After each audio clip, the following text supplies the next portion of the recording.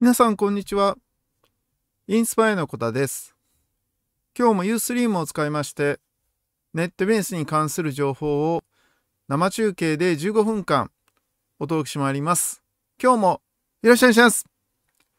はい、今日は2021年11月14日ということで、日曜日ですので、まあ、恒例のまとめ記事ということで、ちょっと緩めな話ということでしていきたいと思うんですが、まずはですね、本題に入る前に、ちょっとこちらをね、ご覧いただきたいと思うんですけど、はい、えー、今日のですね、Facebook に投稿した写真なんですが、えー、これね、あの今日のブログの冒頭の方に入ってるので、よかったらですね、えー、ご覧いただければと思ってるんですけど、どうですかね？似てますかね？これ。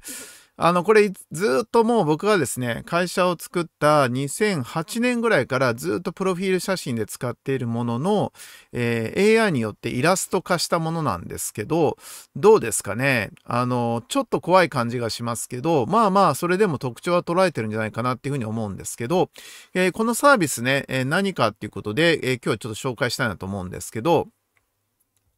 はい、こちらご覧ください。えー、ポートレート写真をアニメ風に変換するアニメガン V2 って読むんでしょうかね、えー、が登場ということで、えー、書かれています。ここにですね、後でブログの方にリンク貼っときますので、え YouTube の動画の方からですね、ご覧いただければと思うんですけど、まあ、ここにあるもののこの URL からですね、え押していくと、まあ、見ることができるんですけど、よいしょ。えー、見ることできるんですけど、ここね、あの写真をね、ここに、えー、ドラッグアントロップしてですね、えー、そして、え保存ってやってもらうと、それで始まるんですけど、なんかね、あの、何も動かないんですよ。なんか動かない気がするので、あれ故障したんかなと思わないでほしいんですが、この、右上のとこのですね、えこの辺りに数字が出てくるんですけど、これね、こうやって切り取って、まあ、保存していくとですね、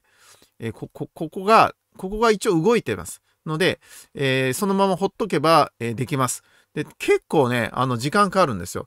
10分とか、もしかしたらそんぐらいかかるかもしれないので、ちょっとね、あのー、首を長くして待っとっていただければと思います。そうするとですね、えー、ボンって出てきますので、えー、そしたらそれをダウンロードできますから、よかったらね、使ってみるといいかなっていうふうに思います。まあ、こういうね、あの AI によってこう加工して何かするってものが非常に最近多くなったなっていうふうに思っているんですけど、えー、ぜひ皆さんもですね、よかったら試してみていただければと思います。